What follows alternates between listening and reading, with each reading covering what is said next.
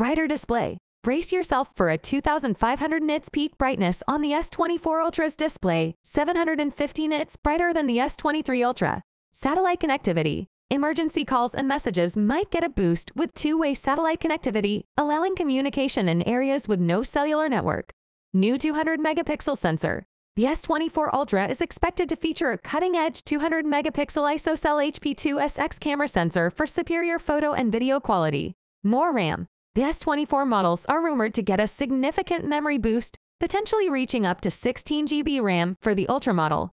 AI generative technology. Samsung might be gearing up with its own AI tech for the S24 lineup, promising unique features without relying on external chatbots. Exciting times ahead with these potential changes. Share your thoughts in the comments and stay tuned for more updates. Catch you in the next one. Peace out.